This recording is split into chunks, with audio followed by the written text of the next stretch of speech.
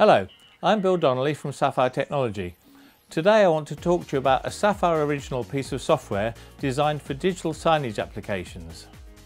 Sapphire is well known for its graphics solutions. We sell a whole range of graphics cards capable of displaying not just one or two monitors, but right up to multi-monitor solutions.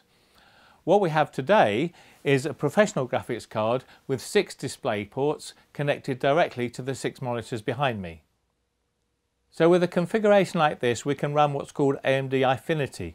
Eyefinity allows us to treat a multi-monitor array as though it was a single logical surface. In other words, just like one big monitor. So what Powercast X allows us to do is to choose a variety of information types to display anywhere we like within that logical surface. So we can display videos, tickers, live web feeds, stills, we can scroll information so we can build up a very interesting pattern of images like the one behind me. What I want to do today is to show you how easy it is to use Powercast X to carve up a single display space into a number of different zones into which we can import different kinds of content for display. So as you can see, for this demo, we've set up a Twitter feed. We've got three videos open at the top here. We've got a live feed from the web for our YouTube page and two other videos running here as well as an information screen directly from the web. Okay, so I'm going to stop our demo running and you can see within this frame here how we had it divided up before. There's the three videos at the top, web feeds down here and so on.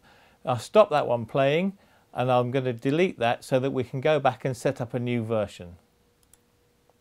So if we go across here we can see that we have the capability to divide up our single logical surface into however many frames we want. So in this case we've chosen a 9 by 6 array corresponding to the shape of our 6 monitor display. So we move on and we can see this is the display areas we've chosen. So now we want to put some content in there.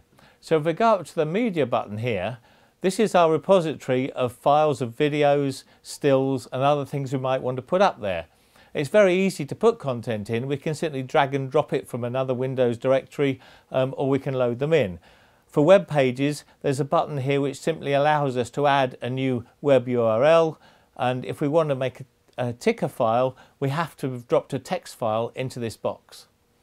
So once we've got all our content there, it's very easy to actually put it into our display areas. So if I choose the first nine cells here, which corresponds to the first monitor in our display area, it's very simple for me to select a video from our pack, tick the box, I just have to agree whether I want sound or not, and there we have it. So if I play it now, you'll see that it's already ready to play in that module. To add additional content, all I have to do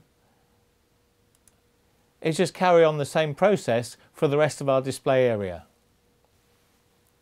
So as you can see, whether you're working with a single monitor or a multi-monitor array like this, it's very easy to configure your content however you want. This makes Powercast X really suitable for a whole range of applications from simple point of sale where you might have only one or two monitors right up to video walls like this. My name is Bill Donnelly from Sapphire Technology. Thank you for watching.